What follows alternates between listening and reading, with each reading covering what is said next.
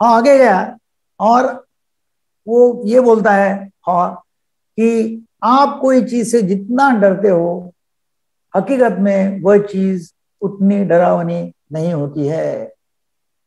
क्यों? क्योंकि जैसा हाँ बाहर निकल गया और वो बाहर निकल के मेज में और घूमते गया तो उसको थोड़ा थोड़ा चीज़ मिलने लगा।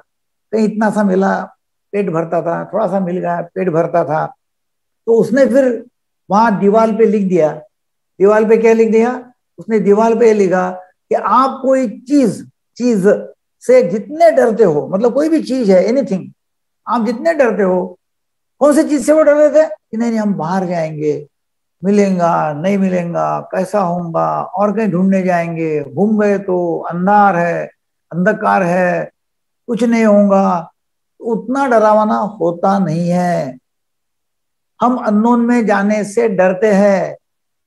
अननोन में जाते नहीं है। और अननोन में हम जाते नहीं है, डरते हैं करके बहुत सारी अपॉर्चुनिटीज़ मौके हम खो देते हैं। जैसा वो हाँ और मेज में घूमने गया, उसको कुछ ना कुछ कुछ ना कुछ वहाँ मिलते गए। थोड़ा थोड़ा थोड़ा थोड़ा चीज़ उसको मिलते गए।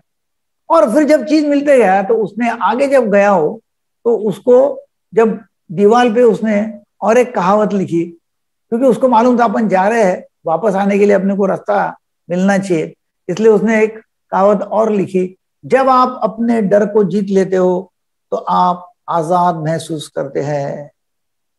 उसने डर के ऊपर जीत लिया, इसने हाँ ने डर के ऊपर जीत लिया, निकल गया, और निकल के चीज़ ढूंढना चालू किया तो थोड़ा थोड़ा चीज़ उसको मिलते गया।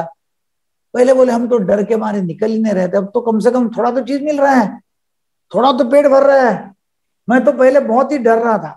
थोड़ा सा मिल गया तो और ढूंढना चालू किया उसने, और कहीं चले गया, और कहीं जब चले गया तो उसने फिर और एक दीवार के ऊपर लिख दिया, पुरानी वस्तुओं को छोड़ना हमें कठिन होता है। हमको आदत बन जाती है कुछ चीज़ों हमको कुछ चीज़ों की आदत बन जाती है और हम छोड़ते नहीं है। देखिए ना, बहुत सारी चीज़ें हैं नई नई चीज़ें मार्केट में आती है और हम नहीं छोड़ हम नहीं पकड़ते उनको। बहुत सारी चीज़ें हम छोड़ते नहीं है।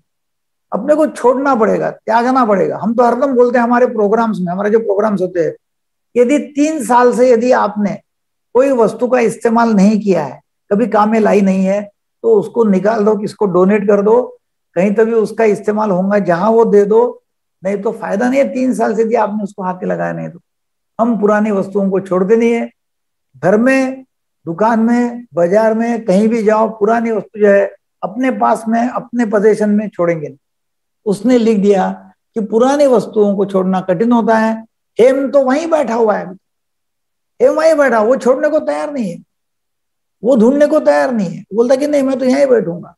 कभी ना कभी तो मुझे चीज़ मिले जाएगा।